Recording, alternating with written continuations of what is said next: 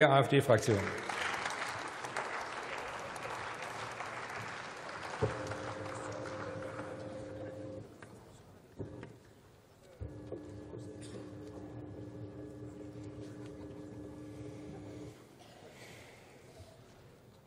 Sehr geehrter Herr Präsident, geschätzte Kolleginnen und Kollegen! Die Bahn ist in einer schweren Krise. Sie ist heute wie ein kranker Gaul, aber die etablierte Politik will sie als Rennpferd verkaufen. Damit werden sie scheitern. Die Bahn macht jährlich Verluste und schiebt einen über 30 Milliarden Euro schweren Schuldenberg vor sich her. Die DB Cargo steht wohl vor der Zerschlagung. Die Gleise sind in miserablem Zustand. Und das Management gefällt sich derweil in Öffentlichkeitsarbeit mit linker Schlagseite. Der Konzern handelt wie ein Staat im Staate.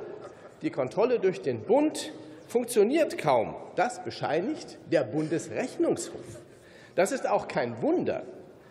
Der Bahnkonzern ist seit den Börsenplänen der Kohl-Regierung eine Aktiengesellschaft. Und da hat eben der Vorstand das Sagen und nicht der Eigentümer. Die Koalition versucht mit ihren Reformchen nicht einmal das zu ändern. Heute debattieren wir einen Antrag der Unionsfraktion, und da ist einiges von besserer Struktur und Steuerung zu lesen. Das begrüßt die AfD-Fraktion.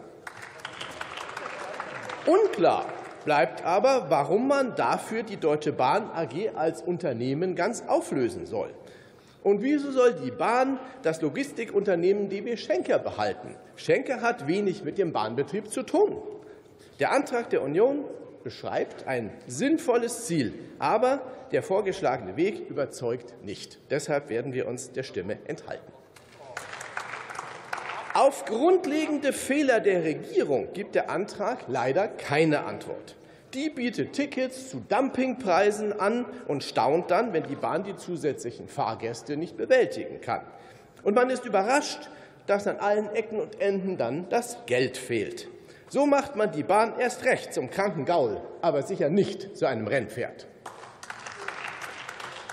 Die AfD-Fraktion hat mit eigenen Anträgen bereits den Weg aufgezeigt. Wir wollen eine neue Rechtsform für den Bahnkonzern, am besten eine GmbH. So kann der Bund als Eigentümer bestimmen, was geschieht. Dann ist es vorbei mit dem Staat im Staate, der seinem Geldgeber auf der Nase herumtanzt. Auch die Bahntochter für die Infrastruktur muss eine GmbH werden. Nur so kann der Bund die öffentliche Verantwortung für das Schienennetz transparent wahrnehmen. Die Bahn ist aber kein Allheilmittel. Sie hat ihre besonderen Stärken da, wo sie große Verkehrsmengen bündeln kann. Auch die Prognosen der Regierung sagen aber, die Bahn wird niemals das Auto und den Lkw ersetzen. Deshalb darf die Politik die Straßeninfrastruktur nicht vernachlässigen.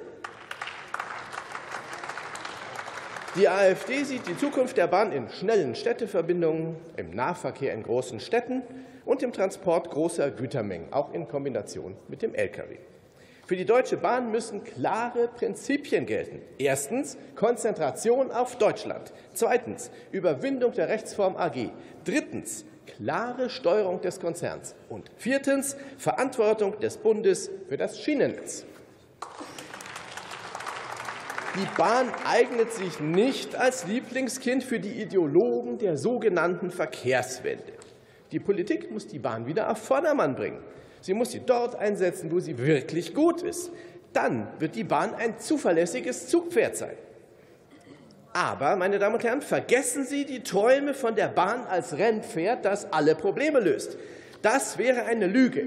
Und das machen wir von der AfD aus aller Überzeugung nicht mit. Vielen Dank, Herr Kollege Wiele. Bevor ich den nächsten Redner aufrufe, komme ich zurück zu Tagesordnungspunkt 15. Die Zeit für die namentliche Abstimmung ist vorbei.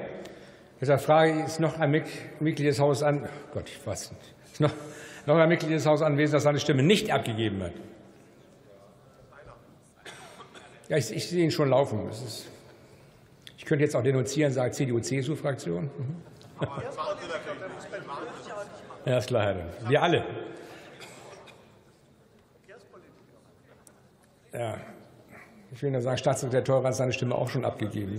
Aber lange Rede, kurzer Sinn. Ist noch jemand da? Nein, niemand mehr. Dann schließe ich die Abstimmung und bitte die Schriftführer und Schriftführer mit der Auszählung zu Beginn des Ergebnisses der Abstimmung wird Ihnen zu einem späteren Zeitpunkt bekannt gegeben. Ich komme jetzt zurück zu Top 14 und rufe als nächsten Redner auf den Kollegen Matthias Gastel, Bündnis 90 Die Grünen.